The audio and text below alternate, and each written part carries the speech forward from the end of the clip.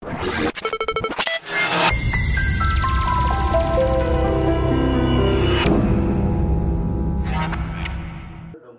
quyết định số 468 ngày 19 tháng 7 năm 2022, tỉnh ủy Lào Cai điều động chỉ định đồng chí Vũ Hồng Phương, Phó Tránh Văn phòng tỉnh ủy tham gia ban chấp hành ban thường vụ và giữ chức Phó Bí thư huyện ủy Văn Bàn, nhiệm kỳ 2020-2025 kể từ ngày 20 tháng 7 năm 2022